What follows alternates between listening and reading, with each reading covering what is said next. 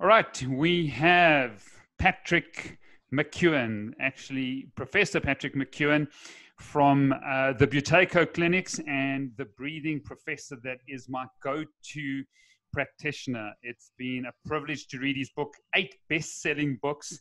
And I'm so grateful for your time, Patrick.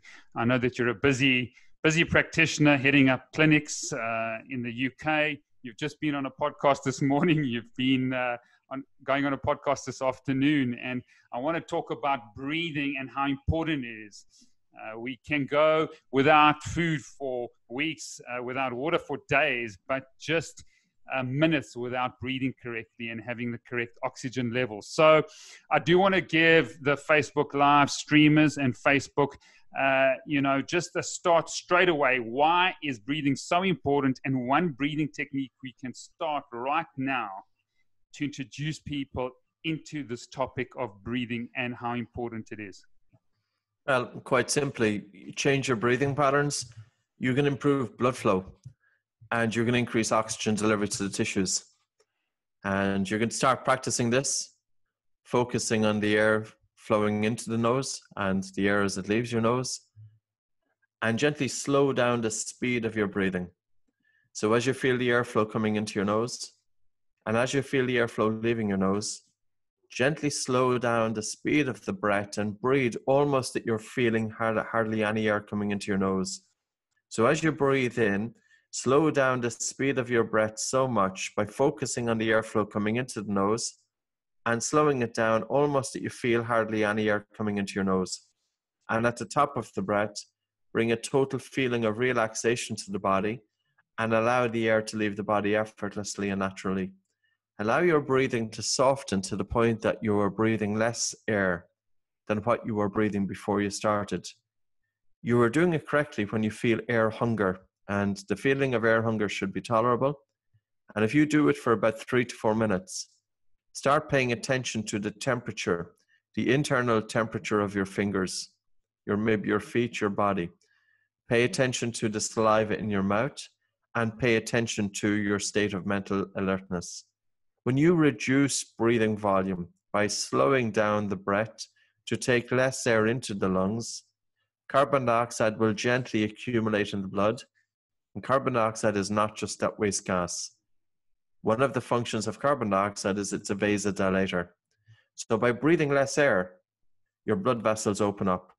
And conversely, people who breathe poorly, they often experience cold hands, cold feet, and brain fog cold hands because of impaired circulation.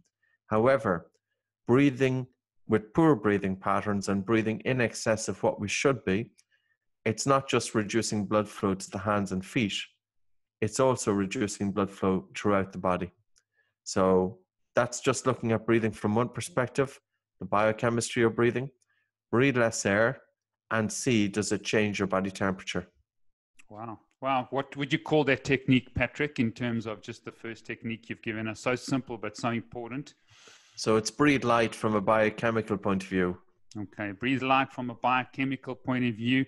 We're going to be talking about breathing today with, uh, I think, the foremost uh, expert on the topic and how it's changed my life. I must say it's been a difficult process to to uh, continually practice in my life. You know, being a comrades runner, eleven comrades in a row now it's something that uh, has been difficult for me to implement in my life. Uh, when I have, though, I found that it's been so beneficial just from a, a stress and a wellness point of view, Patrick. It's uh, your book, The Oxygen Advantage. I can recommend it to anyone. We'll put some links in terms of this book but I found that it's been really uh, informative, but simple to understand, which is you know incredible for the for the layperson to pick up. Uh, not only the medical practitioner or the sports person that uh, you know who understands physiology in that, but for the layperson to pick up. So I do want to start with, the, the, with some ten big ideas. I want to build a bit of a story, a bit of a narrative in terms of why breathing is so important. And the first thing I want to discuss is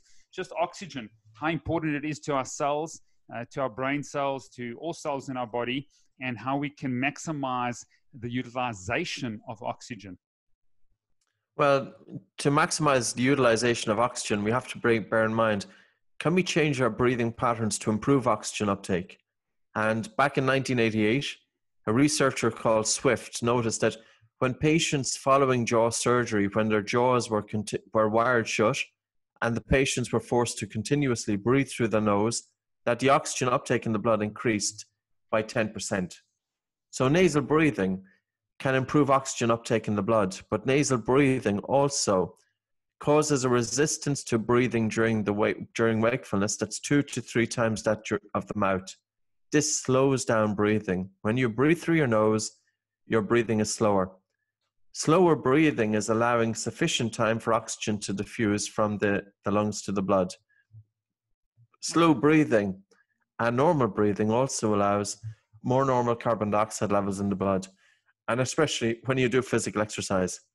So, when you do physical exercise with your mouth closed, carbon dioxide does increase in the blood. And people don't realize that carbon dioxide is responsible or is a catalyst for the release of oxygen from the red blood cells to the tissues. Mm. Good. So you think of a runner with the mouth open, they are breathing fast and shallow. They have reduced oxygen uptake, they have reduced oxygen delivery, there's trauma to the airways, they're losing moisture, and they're in a fight or flight response. Mm. Nose breathing is slow breathing, it's driven by the diaphragm, it increases oxygen uptake, it increases oxygen delivery, and working muscles can get, stay going for longer without tiring. There's less lactic acid, um, because of course the, the body is staying or the muscles are staying aerobically for longer. The fraction of expired oxygen is less. The body is utilizing more oxygen. So, in terms of breathing economy and breathing efficiency, nose breathing is vital for you know for blood flow and oxygen delivery. Hmm. And I saw that with the runner who broke the two hour marathon mark. He was breathing through his nose. I couldn't believe it at that level and that pace to, to maintain nasal breathing. You know, I think when yes. high intensity interval training is been a battle for me to breathe through my nose. You you want to huff, you want to puff, but the more you breathe through the nose and the more you the easier it gets the easier it gets. Uh, yes. Even the fight with Mayweather and uh, McGregor uh, in the yes. first round. Would you just expand on that? Because I, I, see you nodding, so you uh, you probably agree yeah. with what I'm just about yeah. to say. But tell yeah. me. Yeah, well, it was during, during that that fight was interesting in terms of the the commentary of it. And if you listen to the commentary, what the commentator said back in the seventh or eighth round, he said that McGregor is mouth breathing now. He's breathing hard, and he predicted McGregor was going to gas out and I, I can't remember exactly what round it was, but certainly you do see McGregor's legs going from under him. And that can be due to two things. It could be due to a buildup of hydrogen ion, or it could be due to respiratory muscle fatigue. Hmm. So there can be an increase of hydrogen ion if there's not enough oxygen getting to the working muscles. And the hydrogen ion that doesn't get oxidized if there's insufficient oxygen. So the hydrogen ion will associate with pyruvic acid, to form lactic acid, which will dissociate into hydrogen ion and lactate. So the hydrogen ion could be implicated in causing his fatigue, hmm. or he could have had respiratory muscle fatigue that the breathing muscles can only do so much work. Hmm. And at some point when they tire, blood is stolen from the legs to feed the diaphragm. So when the legs give out, it could be because of blood stealing by the diaphragm, because of course the body wants to make sure that respiration is maintained. Mm. Breathing trumps other functions in the body, and other functions can be sacrificed in order to maintain respiration. Mm. So, when the diaphragm fatigues, blood is stolen from the diaphragm, diverted from the legs to the diaphragm to ensure that there is sufficient blood flow to the diaphragm breathing muscle. And correct me if I'm wrong, there's a lot of studies to show and indicate that if you take two equal performing athletes and you train the one from a breathwork point of view and breathing techniques, they will perform better every single time just because their breathing apparatus and their oxygen utilization is better, correct? Well, it's very understudied. The science is starting to catch up. And um, we look at breathing from two different perspectives. If you look at the work of George Dallam, he's a professor of um, I think, exercise science from one of the universities in the United States. But he's a well known triathlete. And he's also a trainer of Olympic athletes. He switched to nose breathing during all of his runs about four years ago, maybe five years ago. And in the last two years, he started investigating the science of what happens when you switch from mouth to nose breathing. Because until then, the few studies that were available were literally looking at a bunch of athletes asking the athletes for the first time ever to switch to nasal breathing mm. and then testing them switching to nasal breathing, but it's the first time that they have done it. Yes. And as a result, the results are not going to be good because when you first switch from mouth to nose breathing, the air hunger is too much. Mm. And that increased air hunger is going to slow you down. So, what Dallam said was, let's test athletes after they have maintained nasal breathing during all of their physical exercise for six months and then see what happens. And he got recreational athletes, 10 of them.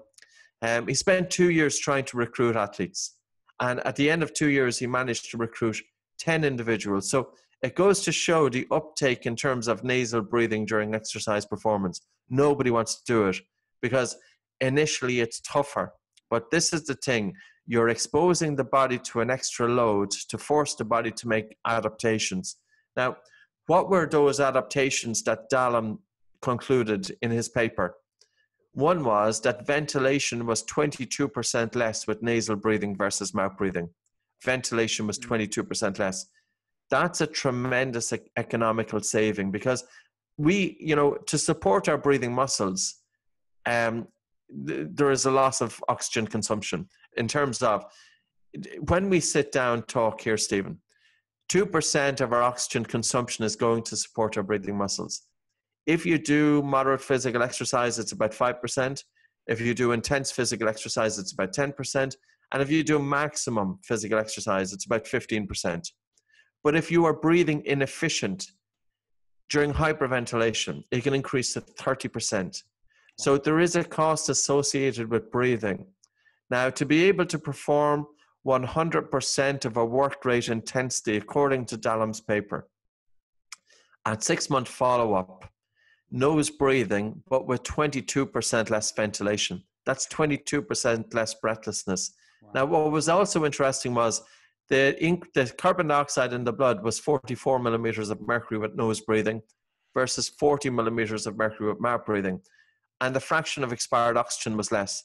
In other words, more oxygen, while the individual was breathing in oxygen, that air, that oxygen was being delivered to working muscles. So they weren't breathing out as much oxygen. Their body was utilizing it. Okay. So that's one aspect of it. But even look at the look at the work by Woorons, a researcher from Paris, from France. He has from since 2008, 12 years of researching using breath holding on the exhale hold technique. And these are the exact same exercises that we have been teaching since 2002. Okay. You have an athlete take a normal breath in and out through the nose, hold their nose, and sprint for 40 meters on a breath hold. And then have a recovery of about 30 seconds with normal breathing and sprint again 40 meters on a breath hold. They tested this with rugby union players, elite rugby union players during competitive season in Australia. Their repeated sprint ability was nine nine repeated sprints before exhaustion. They had the experimental group who were doing the 40 meter sprinting with breath holding. After four weeks, their repeated sprintability increased from 9 to 14.7. Wow. And the control group who were doing high intensity interval training, no change. Okay. So when you compare breath holding to high intensity interval training, there is no comparison. Here is the reason. When you do high intensity interval training, your blood oxygen saturation with nose breathing will drop down to about 91%. With mouth breathing, it will be about 93%. Carbon dioxide in the blood will stay relatively the same. It will change maybe one, two, maybe three millimeters of mercury. Not a lot. With breath holding, your blood oxygen saturation will drop down to the mid 80s. That's severe hypoxia. Your carbon dioxide will increase to above 50 millimeters of mercury. That is quite strong. It's hypercapnia. Breath holding is disturbing the blood acid base balance, forcing the body to make adaptations, including increased and improved buffering capacity inside in the muscle, the working muscle. So it's delaying lactic acid and fatigue. So yeah, I think there are there's quite a few studies now coming out. Woorons is certainly about 12, 15 papers just on the exhale hold technique.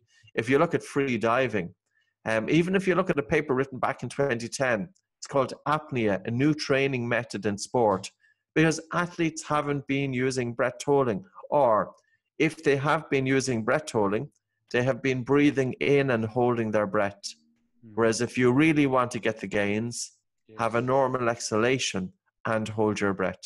So, can I just simplify this because I'm an athlete and I think uh, there's a lot of uh, my listeners that are into performance that want to improve their performance.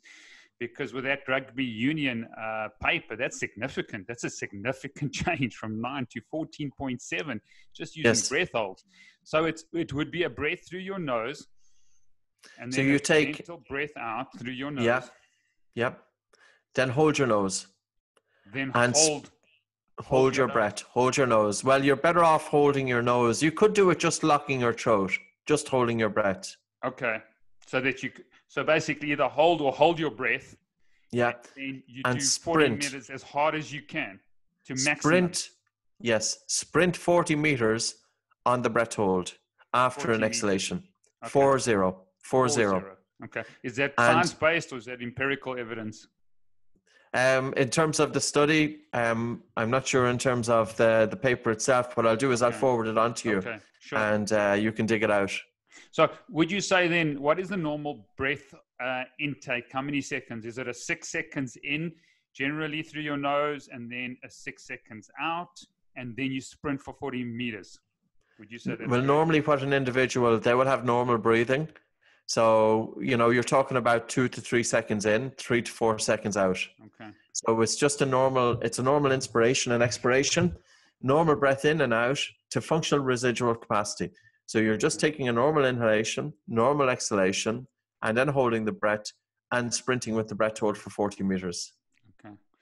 All right, sure. That's fascinating. That's something that uh, athletes out there and uh, those that want to improve their uh, the aerobic would it be aerobic and anaerobic fitness that you would improve well that would be improving anaerobic as well it's you know in terms of aerobic fitness when you do breath holding um, the kidneys become hypoxic and with the result of the kidneys and the liver extent the liver to a lesser extent becoming hypoxic in other words there's not enough oxygen getting to those organs there's a hormone called erythropoietin or EPO being synthesized and EPO is a, is a messenger in terms of signaling to the bone marrow to mature red blood cells. Mm. So some studies have shown that aerobic capacity increases, oxygen carrying capacity increases from doing breath holding, but other studies have shown it didn't. It wasn't the case. But I think it's the same with high altitude training. Mm. There are some responders and there are some non responders. So, from an aerobic point of view, it seems plausible with some athletes, but that certainly that they can improve their aerobic capacity. And also a short-term improvement to aerobic capacity would be doing breath holding to have spleen contraction. Because your spleen is your blood bank, it contains about 8% of your red blood cells. And if you do five maximum breath holds, it forces the spleen to release red blood cells into circulation. And depending on whatever paper you read, it takes 10 minutes to 60 minutes for the spleen to reabsorb those red blood cells back. So, if you have increased red blood cells, you've got increased oxygen carrying capacity. You're increasing hemoglobin, you're increasing hematocrit. This would show an increase to VO2 max.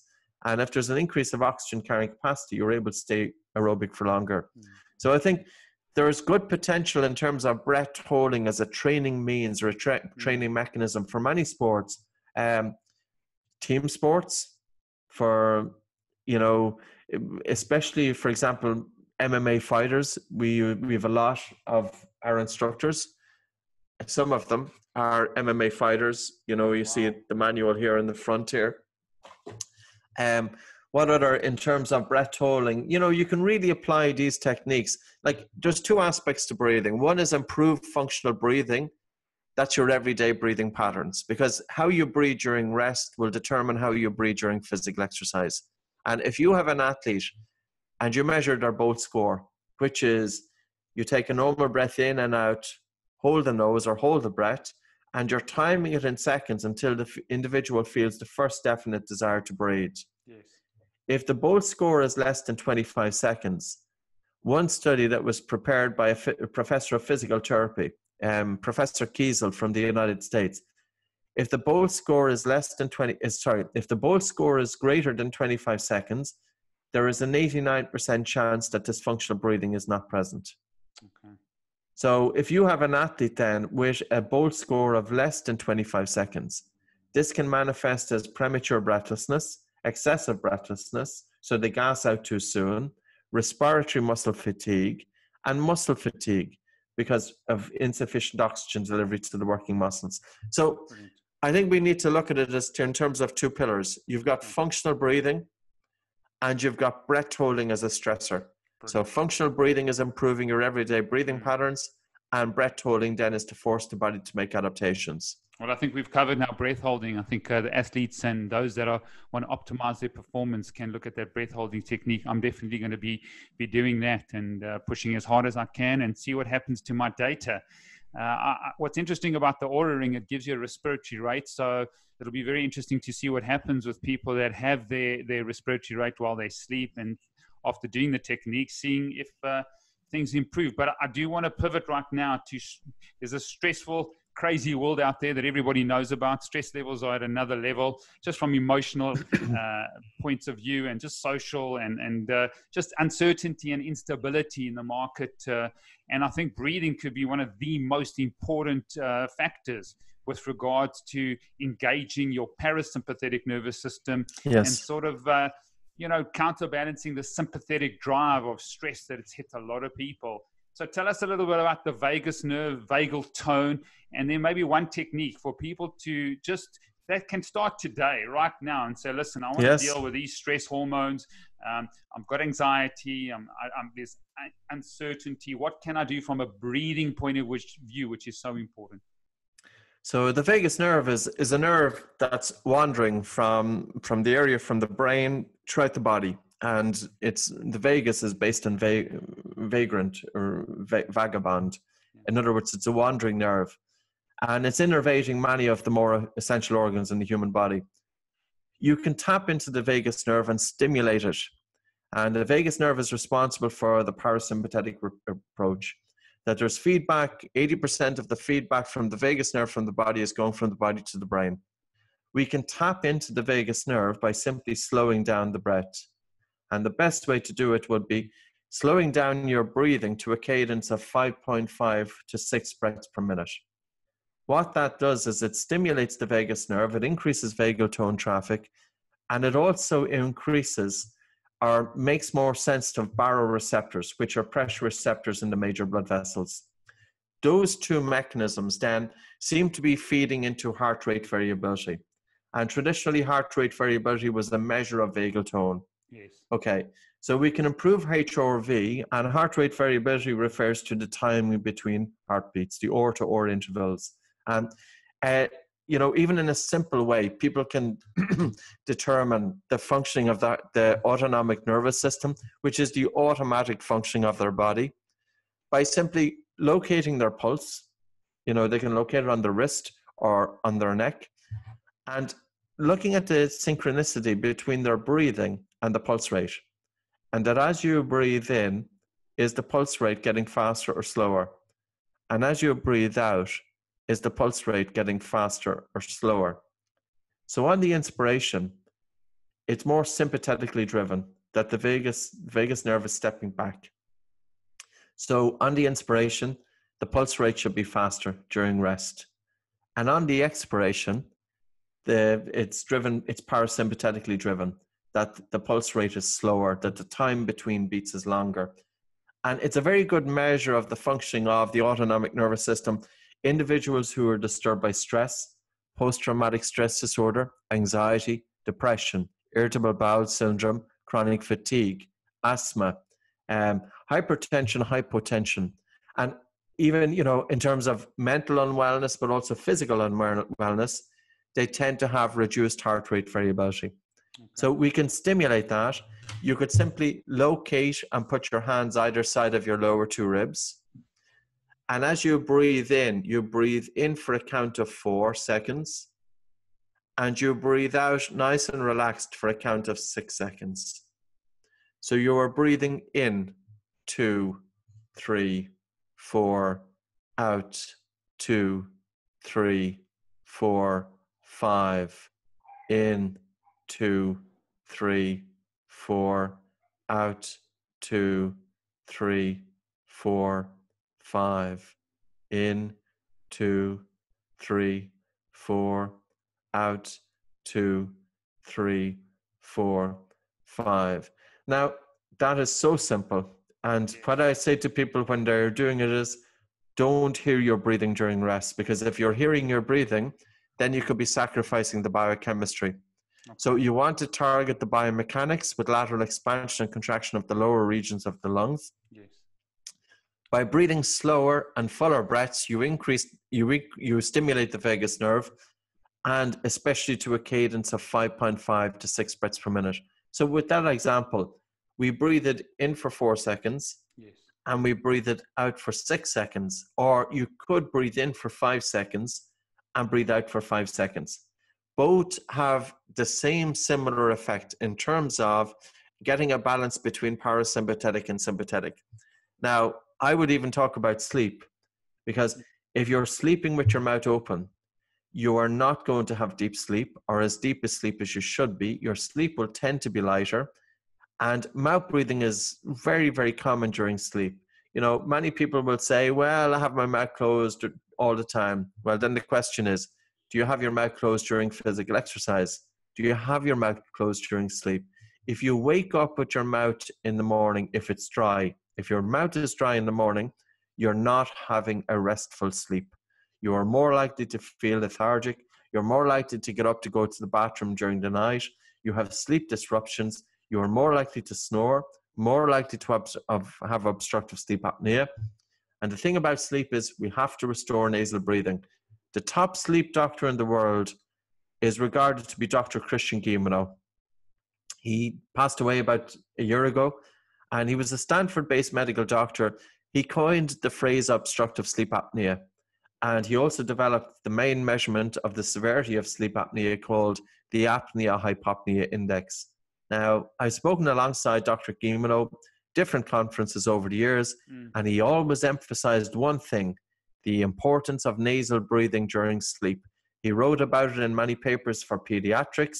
He spoke about it at many, many conferences, and yet this is being overlooked. Mm. People are told, have sleep hygiene. Don't be looking into your mobile phone. Don't be looking at smart light, smart or smart television. Avoid blue light. Wear blue light filter glasses. Um, don't drink alcohol before you go to bed. Have the bedroom airy. Don't lie on your back, and all of this stuff. It's all good stuff. But the elephant in the room is mm. breathe through your nose. Mm. I was a mouth breather for 20 years, 25 years. I was waking up chronically exhausted every single morning. And you're supposed to go into school and get good grades. Grades and you know academic achievement is apparently a measurement of uh, intelligence. Well, in in a small sense, it is. But individuals and kids' measurements of intelligence is is gauged by their academic achievement but their academic achievement is influenced dramatically by their sleep. And any child who is going into school tired, they don't have the concentration, they don't have the memory recall, and they are not going to achieve good results. And we're saying that these kids are stupid. These kids might not be, they may not be stupid. Mm. These kids can be very intelligent, but because of mouth breathing and poor sleep, it's affecting their academic ability. And uh, yeah, there's plenty of studies on this. Karen Bonuck did a longitudinal study, 11,000 kids. It was published, I think, in 2011.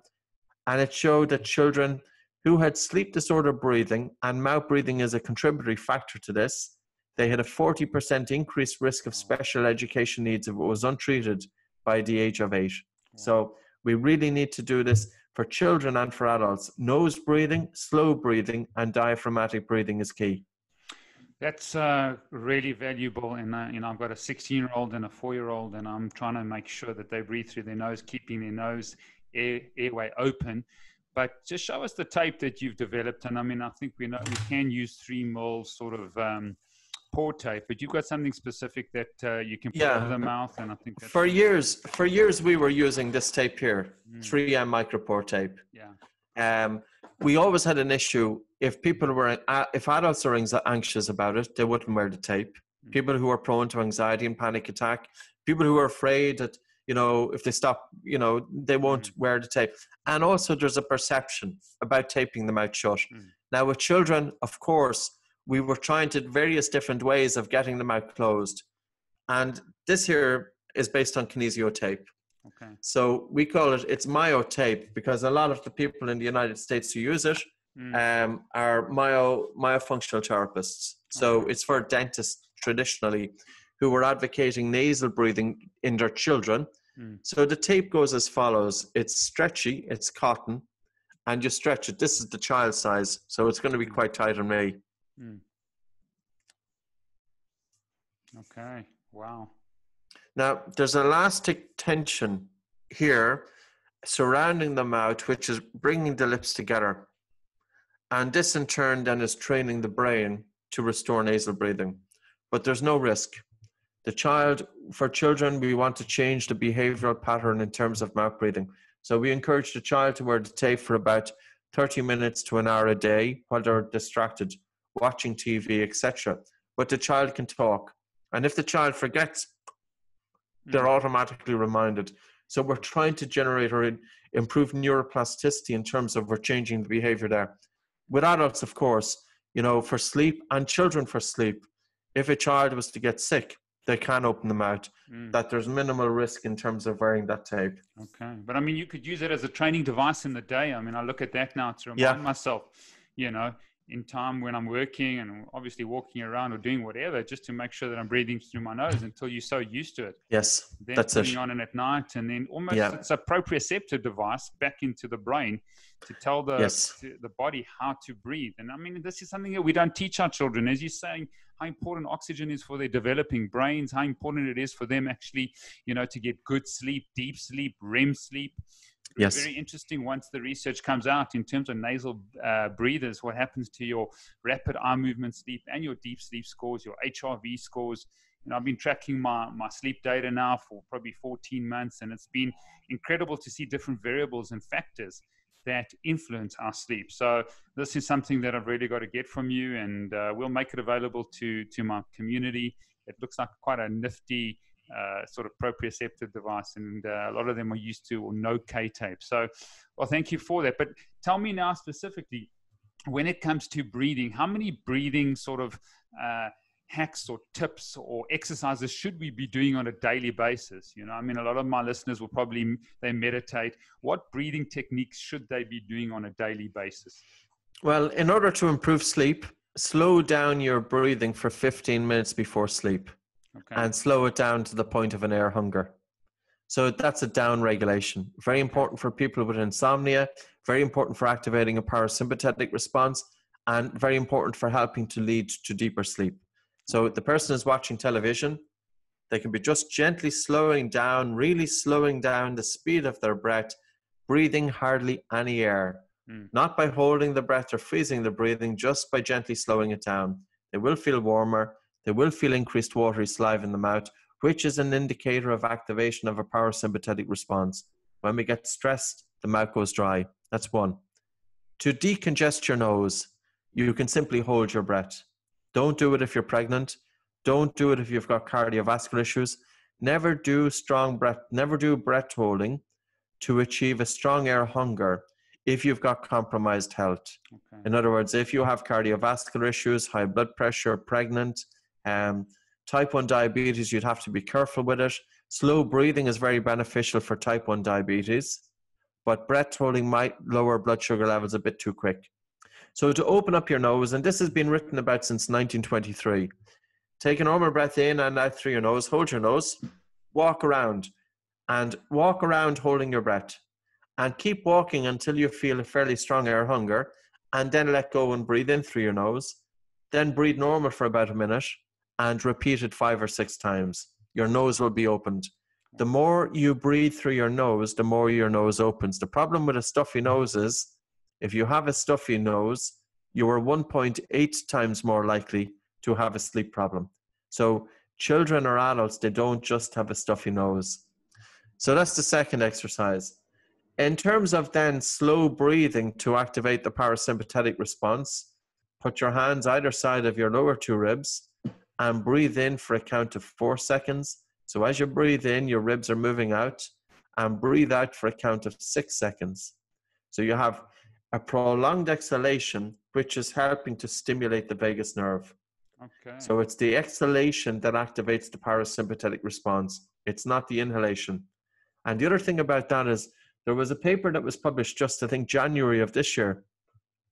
they exposed individuals to pain and they monitored their pain perception and they they they monitored it in comparison to different breathing cadences spontaneous breathing where they were breathing normal and different breathing rates and the rate of breathing that reduced pain was 5.5 to 6 breaths per minute breathing in for 4 seconds and breathing out for 6 seconds oh, wow. so that breathing in for 4 and out for 6 it also improves alveolar ventilation um, it's activating the parasympathetic response, and it's a very efficient way to breathe.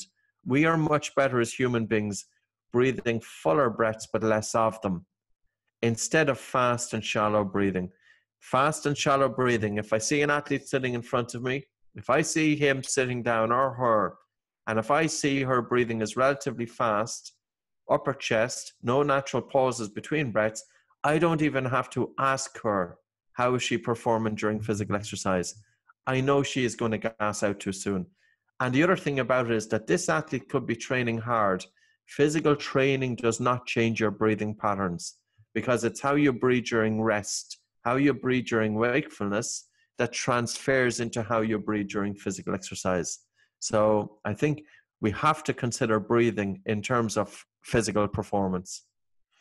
Wow, there's a lot of value there in terms of performance, in terms of managing your stress, uh, just general well being, affecting uh, just your vagal tone.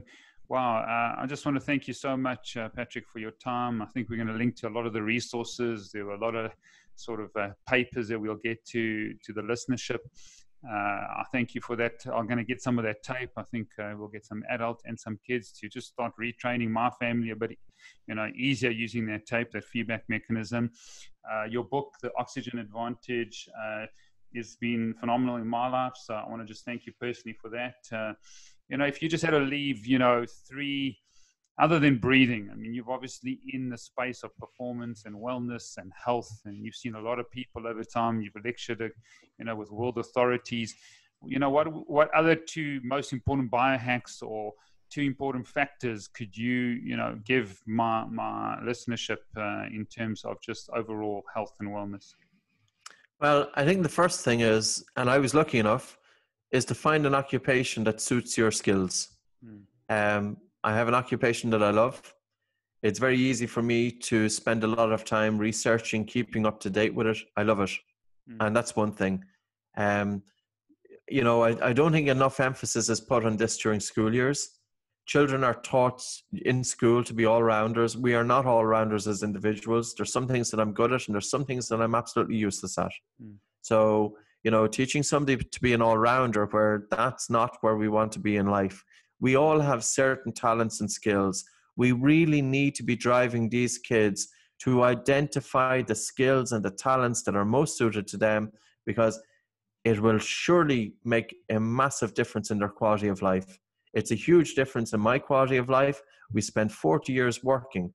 Why not get an occupation that absolutely suits what our values are, our skill set is? The second thing is don't live stuck in the head. I live stuck in my own head 20 years, constantly thinking, thinking, thinking. You know, I was missing out on everything. I would be in beautiful scenery, I wouldn't be there at all. Mm. I was constantly worrying, constantly analyzing. We have been trained how to think, we haven't been trained how to stop thinking. And again, this again is something that should be taught in schools. You know, if we are teaching children how to analyze, how to decipher, how to reason, how to break information into tiny pieces, if we teach them how to think, we need to be able to teach them how to switch off. How do you stop thinking? And when you stop thinking, and I'm not talking about a forced stopping of the thinking, but I'm talking about the ability to bring stillness to the mind. Mm-hmm. The ability to bring stillness to the mind is a reflection of your ability to concentrate. How long can you hold your attention on something, on a subject matter for a period of time without distraction? My concentration has improved immeasurably. I'm 47 years of age than when I was 16 years of age because of better sleep, better breathing, and also by focusing on the breath and more present moment awareness. By doing that, we are training the brain to be focused. And I will say this smartphones, social media, if you are using them, use it very, very selectively. Don't live your life stuck in a phone because it will wreck your life. Okay, wow, that's fantastic. And that goes with the pillars that made you thrive your purpose, your values, your skill set that you were created very uniquely to add a very specific essence to this world. And you need to tap into that as soon as possible, something we can teach the next generation to be very, very sort of uh, intentional and deliberate to find that purpose, find that why, find the greatest area of your life that'll bring you meaning.